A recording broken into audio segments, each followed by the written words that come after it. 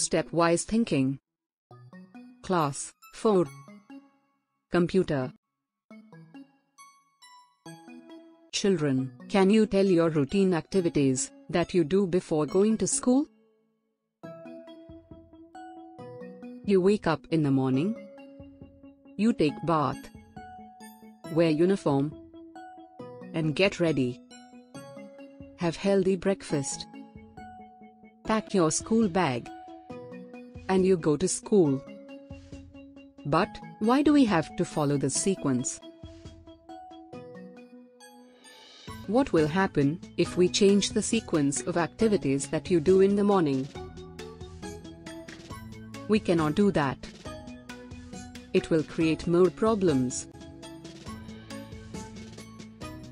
Because you all do some activities, or the other during the day. Each activity you do, follows a sequence of steps. We have to follow the procedure, in order to accomplish tasks effectively.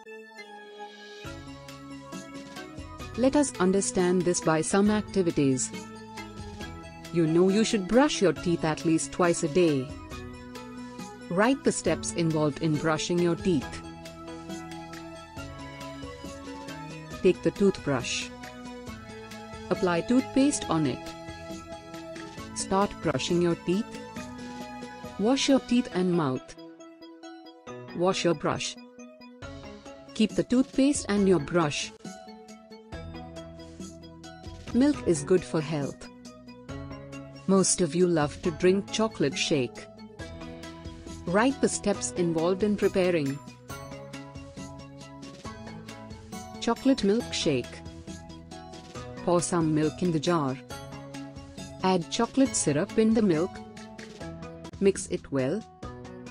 Your chocolate milkshake is ready. You have to arrange a picnic with your friends. Write the steps you will follow to make the picnic memorable.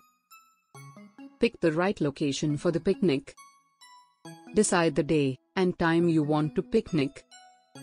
Invite your friends by informing them about your picnic plan. Plan for activities. Pack the food and water and other necessary items for your activities. Enjoy the picnic.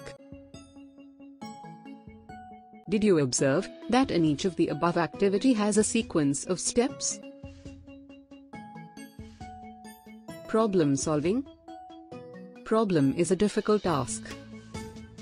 Problem solving means finding an answer or a solution to that problem.